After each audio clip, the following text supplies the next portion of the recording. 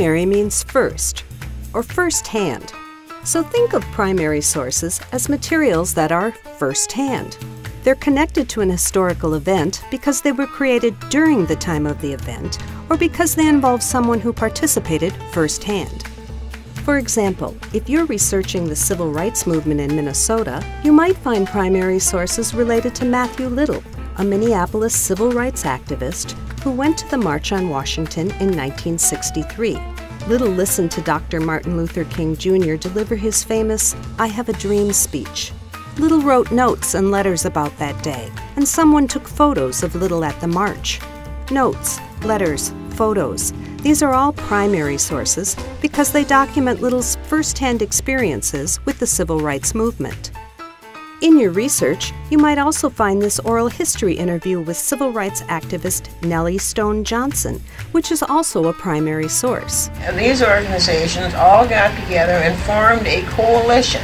Even though the interview was recorded after the civil rights movement, it's still a primary source because Johnson was involved firsthand in the movement.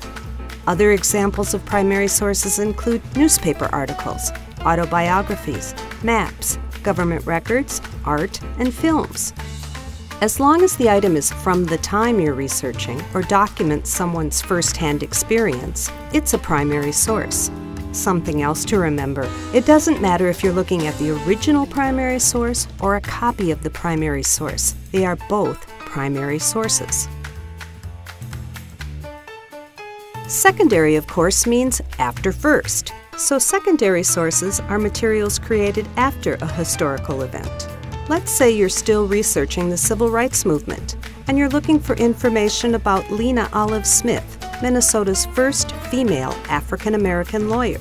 This article about Smith was written by a law professor in 2001, well after the civil rights movement, so it's a secondary source. Here's a web page about Smith. It was created in 2014, so it's also a secondary source. Secondary sources include books, biographies, articles, dissertations, websites, and documentary films, as long as they were written about a person or historical event at a later time. Many secondary sources get their information from primary sources. Just look at the footnotes or bibliography at the end of the secondary source to see what primary sources were used. Let's test your knowledge. Here's a photocopy of the Minneapolis Spokesman newspaper from April 1968, soon after the assassination of Dr. Martin Luther King Jr. Is this a primary or secondary source? It's a primary source because the newspaper is from the time of the assassination. Even though it's a photocopy and not the original paper itself, it's still a primary source. Here's a book about the civil rights movement, written by a history professor and published in 1990. Is it a primary or secondary source? It's a secondary source because it was written after the civil rights movement by someone who was not a first hand participant. This is a book of letters written by Jackie Robinson, who broke the color barrier in Major League Baseball. It was published in 2007. Is it a primary or secondary source?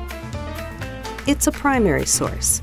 Even though it was published in 2007, it contains copies of letters written by Robinson, a first hand participant in the civil rights movement. Now that you know what primary and secondary sources are, have fun researching. And remember, if you need help, ask a librarian.